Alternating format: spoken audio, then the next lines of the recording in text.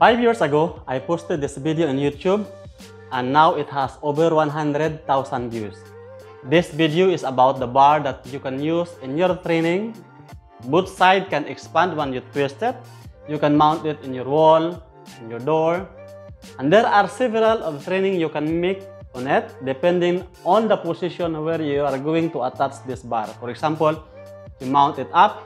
So this one you can do for pull-ups. You can mount it in the middle. You can do some deep training on it. You can mount it down of your door frame and you can do some sit-up or even push-up from this equipment.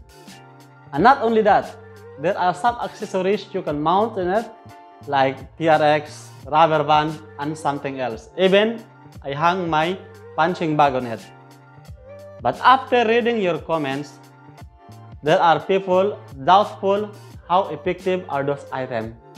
They are asking me some questions like, is this product really safe?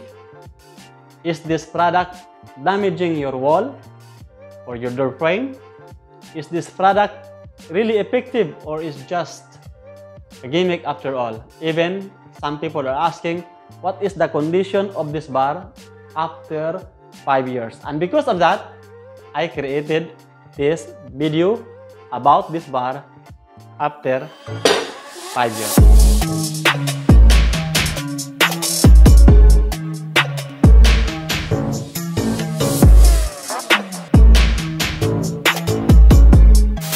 Question number one. People are asking me if this bar is able to damage your door or your wall. And I will answer you this question based on my experience. And based on my experience, this bar is potentially able to damage your wall or your door frame. But it depends on how your wall or door is made. In my situation, my door is not made properly and it broke one side of the corner of my wall and it's leaving some black spot everywhere every time I move this bar to do some other training. They make this bar so strong that even the 100 kilo person can hang without even screwing it on that side. So if your door is weak, this bar potentially damage your wall. Questions number two. Is this product really effective or is just a gimmick? Last Tadang. Tadang. Last December of 2018, I posted this video and now it's April 2024. After 5 years, you can see this video side by side how it compares to me right now. This time I was 58 kg and now I'm 66. I'm gaining this much weight and I believe it's more on muscles. But this answer is depend on how you do this product. At the end, this is just a tool. Its effectiveness is depend on how you use them. Question number three. What is the situation of your bar after 5 years? And the answer for this question is not that bad. Except this part is worn out, both sides, the glue is removed, and it's compressed properly, it's flat. And this rubber padding here is broken. And the worst thing with it, I cannot hold this bar properly because when I grip it, this rubber rotates. But the bar itself is still solid in a way. Still strong, it's still stable, and it manages my weight still without any problem. But this issue can be fixed easily. I will show you how. To fix this problem, this part, I need to put some super glue here. Then after, I will press it there, tight it, and leave it overnight. So this one will be fixed. But first, I will fix this grip here. Thank you for my friend Jito for giving me this. This is actually a used uh, tube from the workshop. I just asked him to have me this one. Uh, this is too wide. I just kept it once. Some people they try with this bicycle grip for road bike, but the problem you cannot tight it with just wrap around ba uh, band. So the good thing from this, you can tight it squeezing the rubber so it will not move or it will not rotate.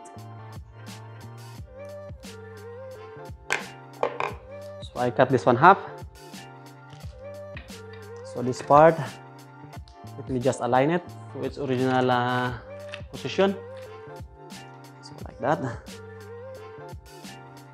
Okay, this part is broken let me align it again so it's like that so now I will use this rubber band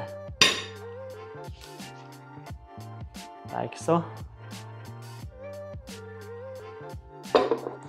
me cut this one first like this. To avoid much sticky from the side.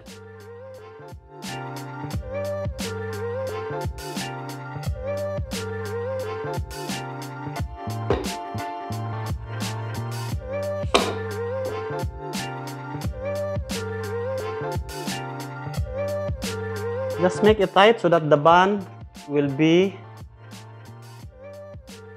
tight as well. It will not go rotate up after.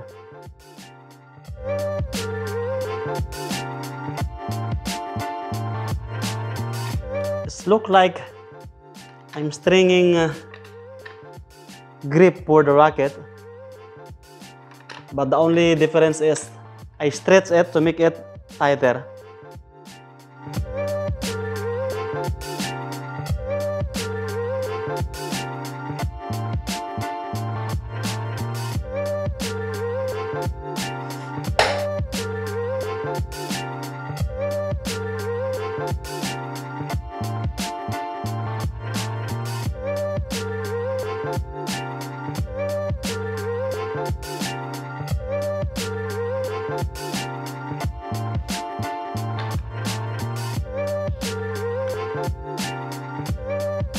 Reaching here to the end now. And to tight the grip, just cut like this way.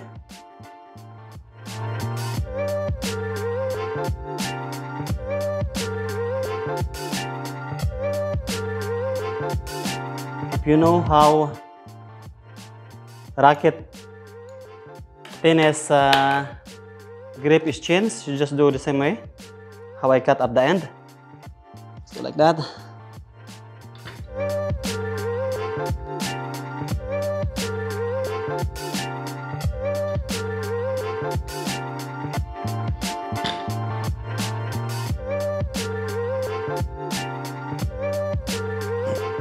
This is the difficult part when you reach to the end. So what you'll do is put your thumb like this. Okay. And this remaining piece here, just insert this one inside like that and pull this part. So now when you have this one, like that? So this part just cut this.